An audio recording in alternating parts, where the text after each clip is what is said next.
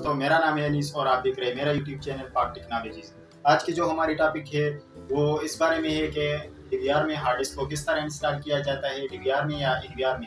Hard disk की installation किस तरह की जाती है और हार्ड डिस्क को चेंज किस तरह करते हैं? तो चलिए चलते हैं वीडियो की तरफ़। अच्छा तो दोस्तों, ये हमारे पास है एक हार्ड डिस्क ये साटा का हार्ड डिस्क है।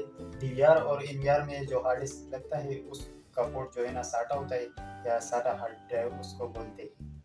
और ये हमारे पास एक डीवीआर है। तो चलिए खोलते हैं इसको, कि इसमें हार्ड ड्राइव की इंस्टॉलेशन किस तरह करते हैं।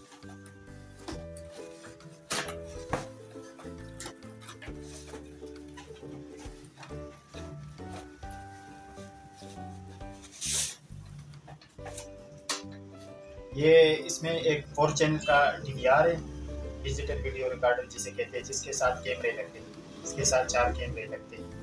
चार कैमरों का ये यार इसके साथ एक माउस है, जिससे इसको ऑपरेट किया जाता है। एक पावर एडाप्टर है इसके साथ।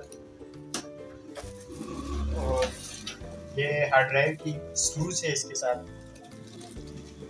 और एक यूज़र मैनुअल है और रिमोट कंट्रोल तो चलिए इसको सेट करते हैं।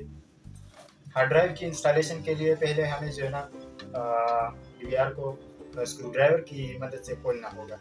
ये जो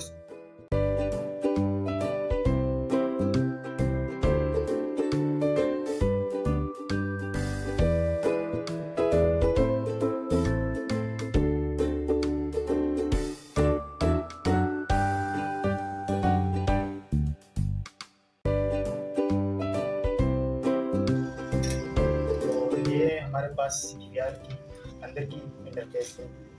ये एक साटा का डेटा केबल है जो डी को लगता है। ये इसका हार्ड ड्राइव का पावर केबल है। हार्ड ड्राइव को डेटा केबल लगाना का तरीका कुछ इस तरह है। इसका ये एक कट होता है इसमें, छोटा सा।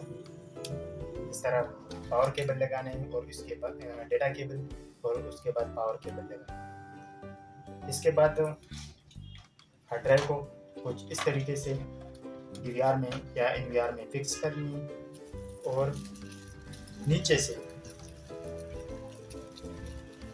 नीचे से, इसके नीचे से इस पे स्क्रूज लगाने ये सुराख जो चार है, ये हार्ड ड्राइव की स्क्रूज के लिए। तो हमने एक स्क्रूज इधर लगानी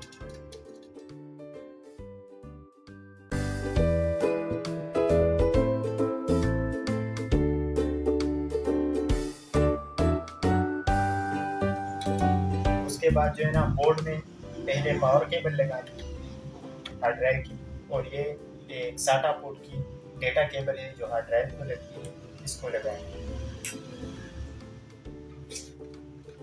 उसके बाद डी को वापस क्लोज करना है।